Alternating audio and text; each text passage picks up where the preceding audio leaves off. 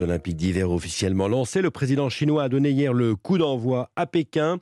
Ces Jeux sont surtout marqués par des tensions diplomatiques et des polémiques. Hein. Pékin devient la première ville à organiser les JO d'été et d'hiver. Pour la première fois, la neige sur les pistes est 100% artificielle, une aberration écologique, Louise Sallet.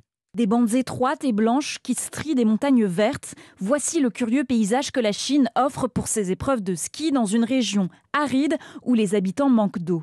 Samuel Morin est spécialiste d'enneigement, il est chercheur à Météo France et au CNRS et s'interroge sur l'impact environnemental d'une telle installation. Comment l'eau est stockée afin de pouvoir produire la neige Bien souvent, on construit euh, des réservoirs. Des enjeux se posent régulièrement en termes d'aménagement de, de, la montagne, de la façon dont ça peut perturber euh, des milieux euh, fragiles, des milieux protégés. Des espaces naturels ont donc été transformés et 185 millions de litres d'eau acheminés pour les canons à neige chinois mais d'après Samuel Morin, cette quantité d'eau n'est pas démesurée. C'est à peu près l'ordre de grandeur de ce qui est consommé dans une station de ski française, moyenne ou grande. L'empreinte environnementale globale, il, est là, mais il est aussi, euh, et avant tout du point de vue du carbone, il est avant tout sur le transport et sur, et sur les infrastructures qui ont été déployées pour, pour ce type d'événement. La neige artificielle n'est donc pas l'unique élément non durable à pointer du doigt, mais c'est un symbole fort de ces Jeux olympiques. Louis Sallet du service Société d'Europe 1.